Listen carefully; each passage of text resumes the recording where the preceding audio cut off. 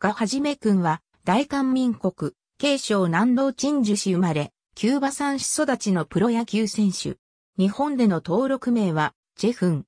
小学3年生で野球を始め、4年生の時には、公式戦30連勝や全国大会優勝も経験。小中学生時代は外野手と保守を務め、中学生時代にも全国で準優勝を経験した。龍馬高校時代は中学3年生から始めたという投手もこなした。2008年、韓国プロ野球のドラフト会議開催前にシカゴカブスとマイナー契約を結んだ。2009年にショートシーズン A からマイナーリーグでの経歴をスタートさせ、一時はトリプル A 級まで昇格した。この時負傷中であった藤川球児と共にリハビリを行ったほか、和田武史ともわずかながら同時期にプレーした。2012年にオールスターフューチャーズゲームに選出された。2014年、2015年はチーム方針から投手としてプレーしまずまずの成績を残していたが、打者として勝負することを望み、日本の独立リーグへ移籍することを決意した。韓国では、高校や大学卒業後に直接 MLB に入った選手は、MLB での契約満了後に韓国プロ野球でのドラフト指名を2年間受けられない規定があることも、日本の独立リーグを選んだ理由に挙げている。2016年、四国アイランドリーグプラス、徳島インディゴソックスに加入。ファーストネームのジェフンを登録名とした。前期の30試合に出場し、リーグの打撃成績では前期終了時点で全部門でトップ5に名を連ねた。5月3日の大香川オリーブガイナーズ戦では外野手として先発出場し、9回の1イニング投手として起用された。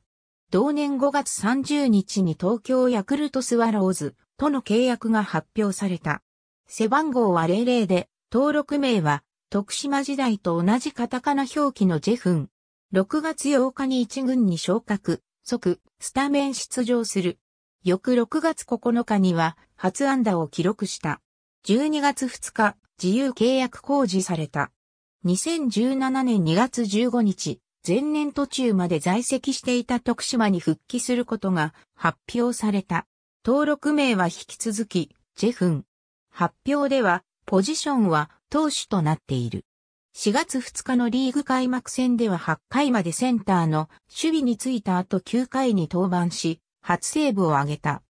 2017年はクローザーとして起用され、13試合に登板して7、セーブ、打者としては48試合に出場して166、打数39安打で打率235、6本塁打30打点12盗塁の成績であった。出場は合計52試合で、そのうち投打に投流での出場が9試合、野手のみが39試合、投手のみが4試合だった。2018年の開幕時点では外野手として登録されていた。このシーズンは投手としての登板は前期閉幕前の2試合だけで、いずれも負けている局面であったが、野手として先発出場して最終回のみ登板する二刀流起用だった。シーズン終了後に指名打者部門のベストナインに選出されている。2018年9月10日、韓国プロ野球新人二次ドラフトで SKY バーンズより指名され入団した。2019年 SK では投手として登録され、リーグ最多の36セーブを記録。2020年は故障等で7月以降の1、軍当番がなく4セーブにとどまった。ジェフに関するカテゴリー。ありがとうございます。